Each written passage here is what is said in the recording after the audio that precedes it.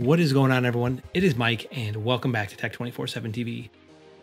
Apple is releasing products underneath the radar. They are doing this without even a product announcement for this one. This is the battery case for the iPhone 11 Pro Max. It's available now at Apple stores. You could actually go pick this up in stores today if you wanted to, even though Apple said it wouldn't be available till Monday. This version retails for $129, and really this is going to go ahead and give you about 50% more battery life than what you are getting today on your iPhone 11 or iPhone 11 Pro, Pro Max. Now, for me, the battery life has been pretty good. I've been getting nine hours ish of screen on time. Sometimes it really depends on uh, what my day looks like.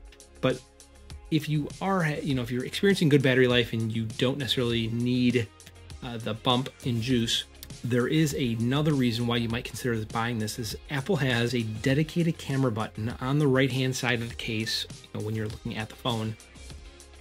So what you do is hold it down. It's gonna go ahead and open the camera, push it once. So you wanna go ahead and take one photo. You push and hold it, you're gonna take a video. And so right now, this is the, well, we're taking a video with the camera, but, oh, actually that's kind of cool. Well, if I hold it down, it opens the camera. And then if I hold it down some more, it actually closes the camera, pretty neat. Like all of these Apple smart battery cases, this is highly integrated into iOS. It gives you the battery life uh, inside of the Today View widget. If you swipe over to the right once, here's the Today View widget, and you go to the bottom, and it tells you that you have right? Roughly 59%. And it is charging the phone while we're talking. It's not one of the battery cases like that you need to turn on or turn off, like the Mophie cases that you might have been familiar with. This is always charging your phone. And as soon as it's depleted, then your phone will switch over to the internal battery on the iPhone. Now, on the last smart battery case that I owned, I was able to put that on like around 6.30 in the morning and get all the way until 5 o'clock with the smart battery case on until that died. So I got a lot of usage on that. I'll have to find that video in case you haven't seen it. I'll link it up above. But I do plan on, you know, using this, you know, the holidays coming up, plan on traveling, which travel is usually the best kind of indicator of how the battery is going to perform. Comes in black, comes in white, and there is a stone pink version. This is going to be USB-C power delivery. Here you have the speakers for the music to go ahead and pass through. Really, there's not a whole lot of difference. I think the only thing I might, or it might feel different is that the lip that goes around the iPhone or the screen feels a little bit thicker than it did last year. If you're unfamiliar, what you're gonna go ahead and do here on the inside, there's gonna be an LED when this is charging. This is gonna light up. Put the put the iPhone here. You kind of peel back the top of the case, slide it down.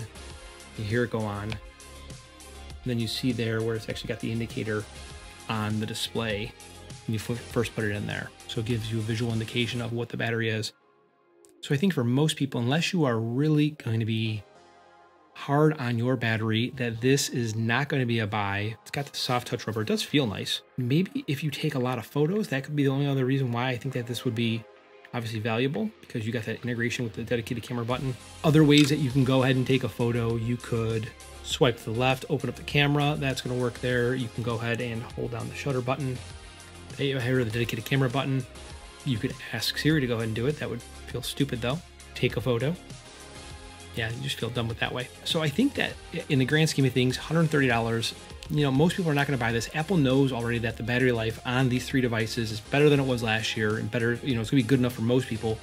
For the people that are, you know, just exhausting the battery by, you know, midday, three, four o'clock, and they need to keep going this is going to be you know, a no-brainer because the integration with the uh, operating system. And if you're taking photos, you're getting the added benefit of a dedicated camera button, which is really, I think it's easy to use one-handed. You know, it's obviously easy to use in this way, but most people say, you know, selfie culture, right? We're all going to take a picture. We're going to go ahead and look at the camera. We're going to hold it with one of our hands. It might not be our dominant hand in order to get that kind of angle on it, you have the shutter button, which you can use your ring finger for, maybe even your pinky finger for.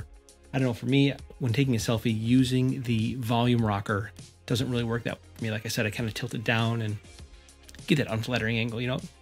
Not a cute selfie, gotta delete it. Let me know what you think about this. Are you gonna pick one up? And if you are, are you getting it because you, you know, go through the battery quite quickly?